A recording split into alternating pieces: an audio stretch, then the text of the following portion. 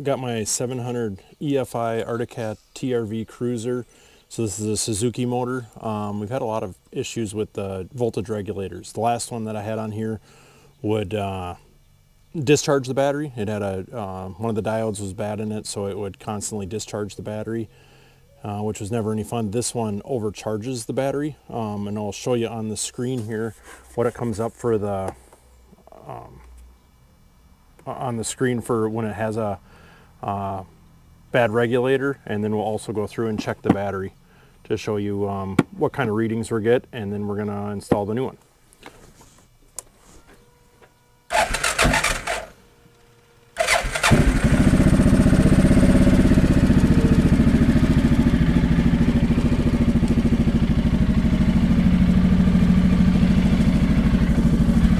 Okay, so hopefully you can hear me. We're gonna, there we go. See how it went from the mileage to screaming volt. Now I have been able to override that a little bit and make it last longer by turning on my auxiliary LED bar and turning the lights all the way to on.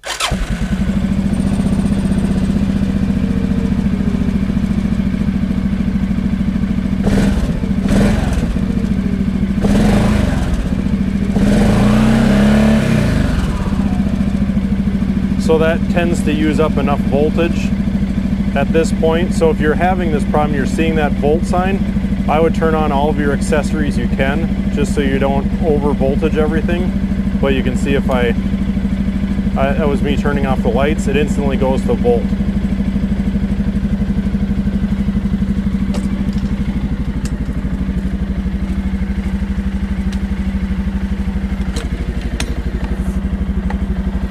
I relocated my battery to up to here because I was having battery issues and it seemed like a way better way to do it.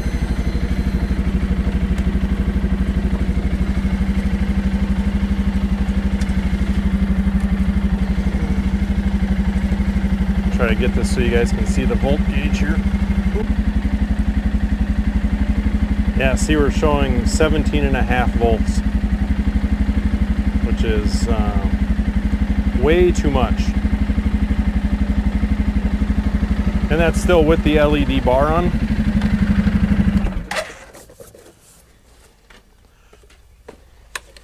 So what we're gonna change it out with is I found this one at Dennis Kirk, the RM Stator, uh, RM30801H.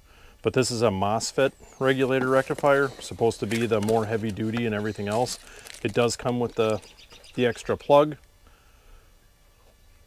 if you burnt yours up, so that's kind of nice. Mine is actually in good shape, so I don't have to worry about that. And then this is a two-part, so there's the heat sink and the um, more of the regulator and the rectifier separated.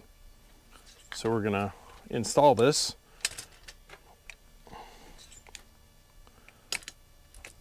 On this one, it is underneath it is right underneath here, so it should be a quick,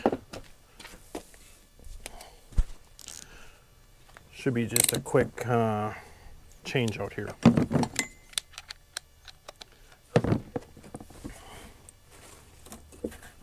And I did already have this loose, so.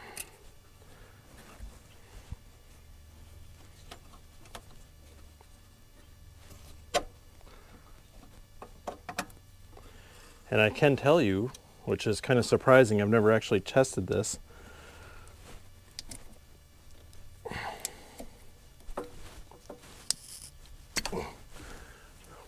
But this thing has only been running for a minute and uh, it's already hot.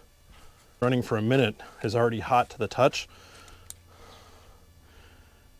That's 135 degrees, 140 degrees in here heatsink is doing its job, but on the backside it is hot. So obviously this was uh, no longer working. I think this was a cheap reproduction. So this time we didn't go with the cheap one, we went with the best one we could get. And here's the, you can see the differences. Not a whole lot of difference in the regulator itself. The reason why I know this is the regulator is just um, for the simple fact that it does have the cooling fins on it because to get rid of electricity, you have to burn it off somehow, and usually it's done in heat. And then there's this part of it. So we'll get this mounted up. Um, this will bolt into the same holes like it was. This will have to find a way to uh, zip strip it or something to the frame.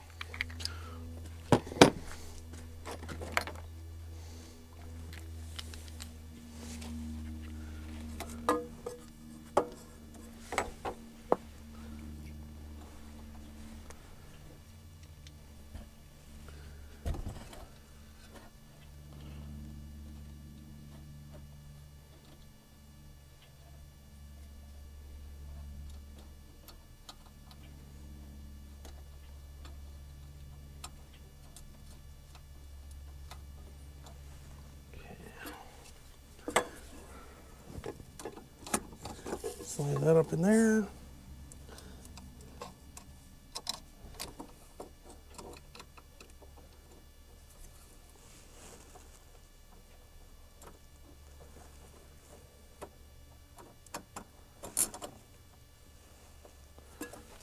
That side, get the extra washer.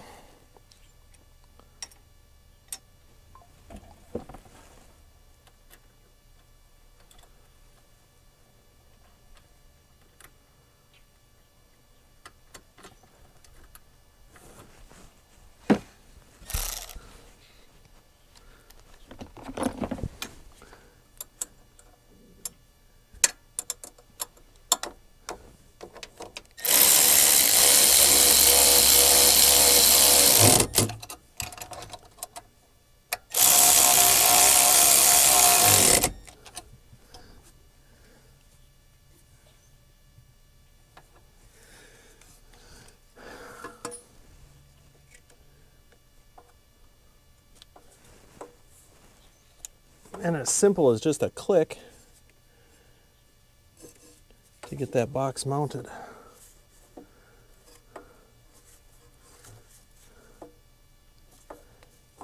Well, let's see if it works, then we'll get the, the other part of it.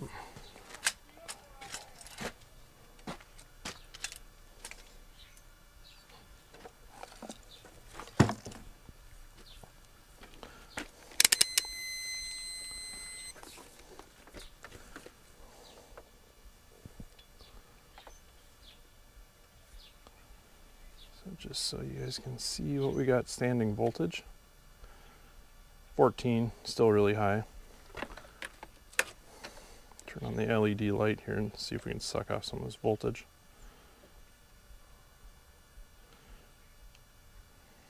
There it's coming down.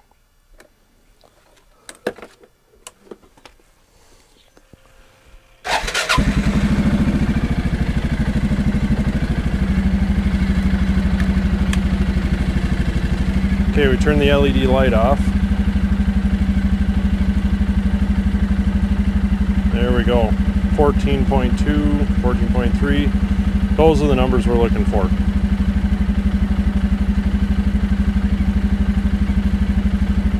You even see it bouncing around a little bit. That's perfect.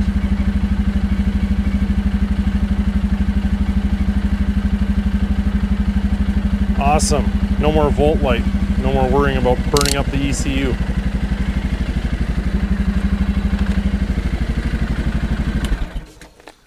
And no more coat on the dash. This. So here's the box, here's the plug. It said no problem there, it's just figuring out how we want to mount this.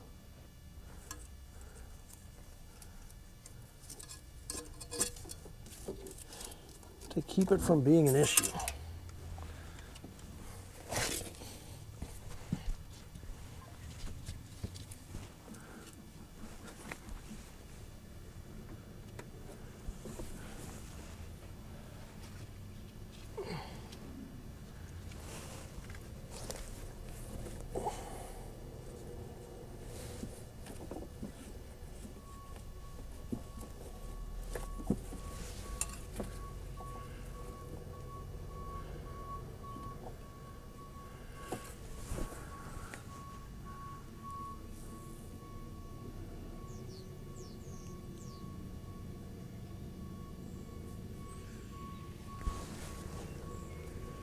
I don't mind it up here like this, but I don't really have a good way to strap it to there.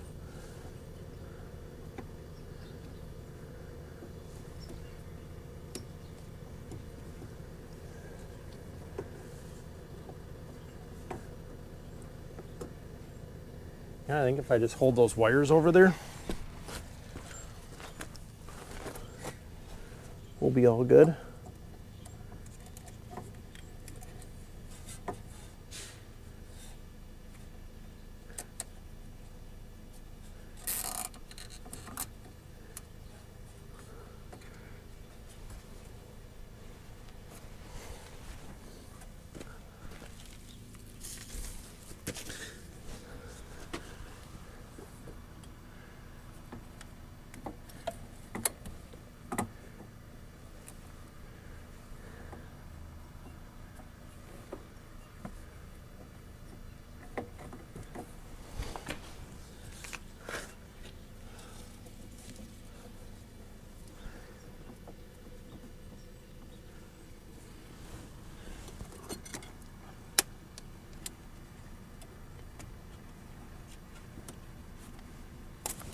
Might be able to get by with this one.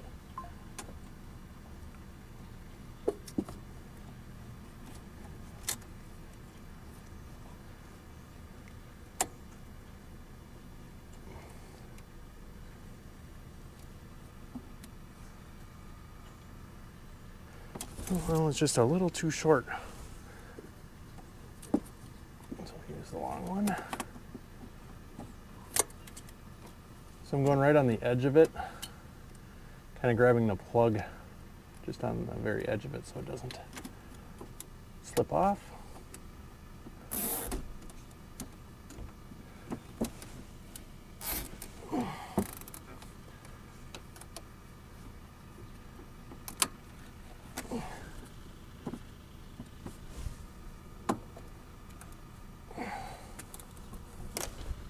Yeah.